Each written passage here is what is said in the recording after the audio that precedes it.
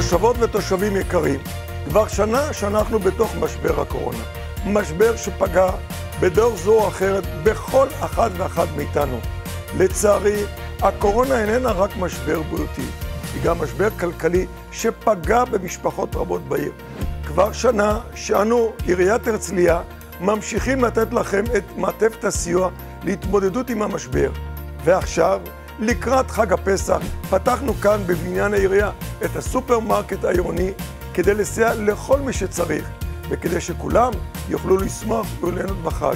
הסופרמרקט העירוני מציע מגוון של מצרכי מזון, ובנוסף מוצרי ניקיון וסדקית.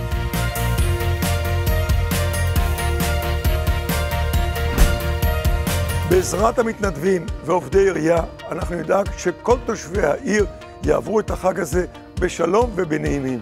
אם אתם מכירים תושב מהעיר שנמצא במצוקה וזקוק לסיוע, אני מזמין אתכם לפנות אלינו באמצעות מרכז השליטה העירוני 106, ואנחנו נדאג לעזור.